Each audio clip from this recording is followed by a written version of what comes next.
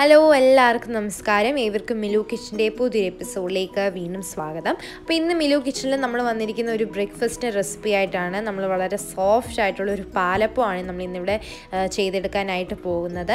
ഇത് എല്ലാവരും തീർച്ചയായിട്ടും വീട്ടിൽ ട്രൈ ചെയ്ത് നോക്കുക. എന്നിട്ട് നിങ്ങളുടെ അഭിപ്രായങ്ങൾ ഞങ്ങളെ കമന്റ് ബോക്സിലൂടെ അറിയിക്കുക. നമുക്ക് മട്ടൺ സ്റ്റൂവിന്റെ കൂടെ അതുപോലെ തന്നെ ചിക്കൻ സ്റ്റൂവിന്റെ കൂടെ ഒക്കെ നമുക്കിത് ഈ അപ്പം കഴിക്കാനായിട്ട് പറ്റും. അപ്പോൾ എല്ലാവർക്കും അത് ഇഷ്ടപ്പെടുന്നതായിരിക്കും. ഒന്ന് ട്രൈ ചെയ്ത് നോക്കുക. അപ്പോൾ ഇതെങ്ങനെയാണ് ചെയ്തെടുക്കുന്നത് നമുക്ക് のか。നമുക്ക് അപ്പം ഉണ്ടാക്കുന്നതിനായിട്ട് നമുക്കിപ്പോൾ പച്ചരി എടുക്കാം. ഞാനിവിടെ സാധാ പച്ചരിയാണ് എടുത്തിരിക്കുന്നത്. അപ്പോൾ ചിലപ്പം ചില ഇഡലി റൈസും ഒക്കെ വെച്ച് നമ്മൾ അപ്പം ഉണ്ടാക്കാറുണ്ട്. പക്ഷേ ഞാനിപ്പോൾ ഈ പച്ചരി വെച്ച് ഉണ്ടാക്കുന്നത് തന്നെ നന്നായിട്ട് നമുക്ക് അപ്പം കിട്ടാറുണ്ട്. ഞാനിപ്പം രണ്ട് ഗ്ലാസ് പച്ചരി എടുത്തിട്ടുണ്ട്. ഞാൻ നാല് മണിക്കൂർ വെള്ളത്തിലിട്ട് നന്നായിട്ട് കുതിർത്ത് എടുത്തിരിക്കുന്നതാണിത്. ഇനി നമുക്ക് വേണ്ടത് തേങ്ങയാണ്. ഞാനൊരു തേങ്ങയുടെ പകുതി തേങ്ങ ചിരകി എടുത്തിട്ടുണ്ട്. പിന്നെ നമുക്ക് ഈ- അരിയിൽ അരച്ചെടുക്കാനായിട്ട് നമുക്ക് ചോറ് വേണം പിന്നെ ഈസ്റ്റ് വേണം. ഇത്രയുമാണ് നമുക്ക് പിന്നെ പഞ്ചസാര. ഇത്രയുമാണ് നമുക്ക് ഈ അപ്പം ഉണ്ടാക്കാനായിട്ട് വേണ്ടുന്ന ഇൻഗ്രീഡിയൻസ് അപ്പോൾ ഇനി നമുക്ക് ആദ്യമേ നമ്മൾ ഈസ്റ്റ് ഒന്ന് പൊങ്ങാൻ വേണ്ടി വെക്കണം. അതിന് വേണ്ടി ഒരു ഗ്ലാസ് എടുക്കുക. അതിലേക്ക് ചെറിയ ചൂടുവെള്ളം ഒരു അര ഗ്ലാസ് ചെറിയ ചൂടുവെള്ളം എടുക്കുക. അതിലേക്ക് ഒരു അര ടീസ്പൂൺ ഈസ്റ്റ് ഒരു ടേബിൾ സ്പൂൺ പഞ്ചസാര. ഇത് ഇട്ട് നന്നായിട്ട് ഒന്ന് മിക്സ് ചെയ്ത് നമ്മളൊരു സ്പൂൺ കൊണ്ട് നന്നായിട്ടൊന്ന് മിക്സ് ചെയ്ത് നമുക്ക് ഒരു ഒരു പത്ത് മിനിറ്റ് നമുക്കൊന്ന് മാറ്റി വയ്ക്കാം അപ്പോൾ നമ്മുടെ ഈസ്റ്റ് നന്നായിട്ട് പൊങ്ങി വരും. നമ്മുടെ ഈസ്റ്റ് നന്നായിട്ട് പൊങ്ങി വന്നാലേ നമ്മുടെ അപ്പം നന്നായിട്ട് കിട്ടത്തുള്ളൂ. അപ്പോൾ നമുക്ക് ഈസ്റ്റ് ഒന്ന് പൊങ്ങി കിട്ടാൻ വേണ്ടി നമുക്കൊന്ന് മാറ്റി വയ്ക്കാം ഇനി നമുക്ക് അരി അരച്ചെടുക്കണം. ഞാൻ ഇവിടെ അരി അരച്ചെടുക്കുന്നത് രണ്ട് പാർട്ടായിട്ടാണ്. അപ്പോൾ നമുക്ക് ഒരു മിക്സി എടുത്ത് ആദ്യം നമ്മൾ അരി മാത്രമാണ് അരച്ചെടുക്കുന്നത്. നമുക്ക് കുറച്ച് കുറച്ച് ഇട്ടിട്ട് നമുക്ക് അരി ഇപ്പോൾ ഒന്ന് നന്നായിട്ട് അരച്ചെടുക്കാം. അപ്പം നമ്മൾ ഈ ആദ്യം അരി മാത്രം ഇട്ട് അരയ്ക്കുന്നതെന്ന് വെച്ചാൽ നമുക്ക് അതിൽ നിന്ന് കപ്പി കാച്ചാനായിട്ട് അതിന് മാവ് എടുക്കണം. അതുകൊണ്ടാണ് ഞാൻ വേറൊന്നും ഇട്ട് അരി അരയ്ക്കാത്തത്.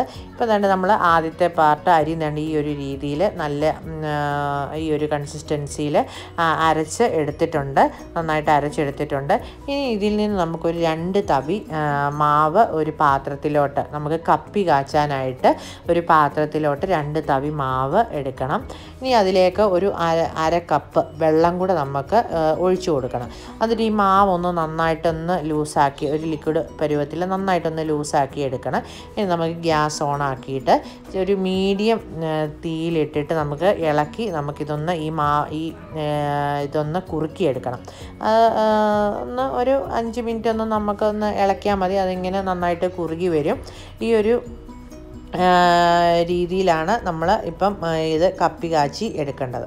കണ്ടോ നമ്മുടെ കപ്പി ഇപ്പം റെഡി ആയി കഴിഞ്ഞു. ഈ ഒരു കൺസിസ്റ്റൻസിയിലാണ് നമ്മൾ കപ്പി കാച്ചി എടുക്കേണ്ടത്. ഇനി ഇതിപ്പോൾ നമുക്കൊന്ന് തണുക്കാൻ വേണ്ടി വെക്കണം. നമ്മൾ നന്നായിട്ട് ഇത് തണുത്തതിന് ശേഷം മാത്രമേ നമുക്ക് മിക്സിയിലിട്ട് ഇത് അരച്ചെടുക്കാൻ പാടുള്ളൂ.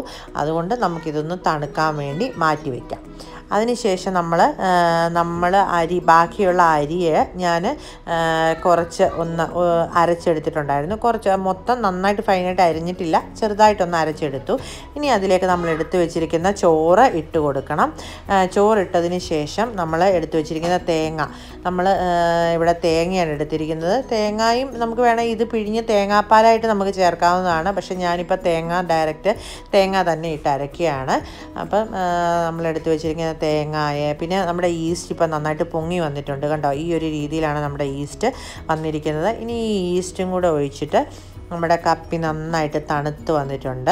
ഈ കപ്പിയും കൂടെ നമുക്ക് ഇതിലേക്ക് എല്ലാം കൂടി ഇട്ട് നമുക്ക് വളരെ പെട്ടെന്ന് നമ്മൾ അരച്ചെടുക്കുകയാണ് ചെയ്യുന്നത്. അതിന് ഇതിനാവശ്യമായ വെള്ളം. ഈ ഒരു രീതിയിലാണ് നമ്മളൊന്ന് നികന്ന് നിൽക്കത്തക്കവണ്ണം ഈ ഒരു രീതിയിൽ ആവശ്യമായ വെള്ളം ഒഴിച്ച് നന്നായിട്ട് ഇതൊന്ന് അരച്ചെടുക്കാം. കണ്ടോ? നമ്മുടെ അരി നന്നായിട്ട് ഇപ്പം അരച്ചെടുത്തിട്ടുണ്ട്. ഞാനിപ്പോൾ ഒരു വലിയ പാത്രമാണ് എടുത്തിരിക്കുന്നത്. നമ്മൾ മാവ് നന്നായിട്ട് പൊങ്ങി വരും. അപ്പം മാവിനനുസരിച്ച് കുറച്ച് ഇപ്പോൾ വലിയ പാത്രമാണെന്നുണ്ടെങ്കിൽ വലിപ്പമുള്ള പാത്രമാണെന്നുണ്ടെങ്കിൽ നമ്മുടെ മാവ് പൊങ്ങി ഇങ്ങനെ പോവൊന്നുമില്ല. അപ്പം ഞാനിപ്പോൾ ഒരു വലിയ പാത്രം തന്നെ എടുത്തിട്ടുണ്ട്. അതിലേക്ക് ഞാൻ നമ്മൾ അരച്ച് വെച്ച മാവ് ഒഴിച്ചു കൊടുത്തു.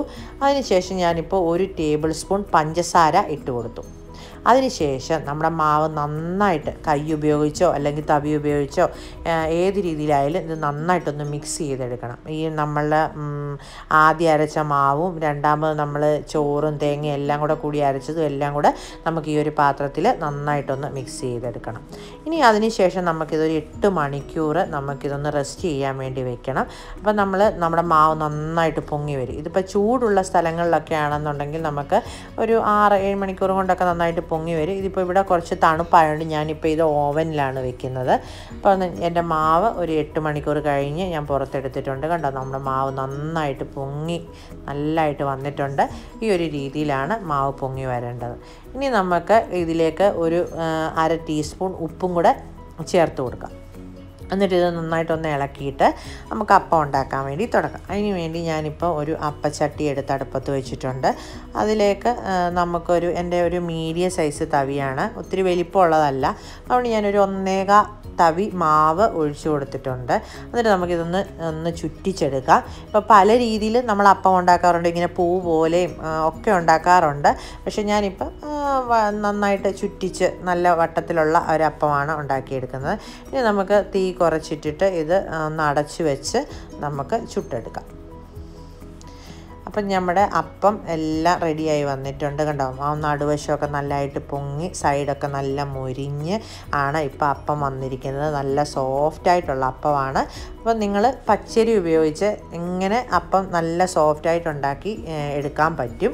അപ്പോൾ അത് നിങ്ങൾ എല്ലാവരും ട്രൈ ചെയ്ത് നോക്കണം. വളരെ എളുപ്പത്തിൽ നമുക്ക് അപ്പം എങ്ങനെ ഉണ്ടാക്കുന്നതെന്ന് ഇപ്പം നിങ്ങൾക്ക് കാണുമ്പോൾ തന്നെ മനസ്സിലാവും. അപ്പോൾ നിങ്ങളെല്ലാവരും ട്രൈ ചെയ്ത് നോക്കണം. അപ്പോൾ നിങ്ങൾക്ക് എന്റെ ഈ റെസിപ്പി ഇഷ്ടമായിട്ടുണ്ടെങ്കിൽ നിങ്ങൾ ഞങ്ങളെ സപ്പോർട്ട് ചെയ്യണം. അടുത്തൊരു നല്ലൊരു വീഡിയോയുമായിട്ട് വരുന്നിടം വരെ എല്ലാവർക്കും നന്ദി നമസ്കാരം.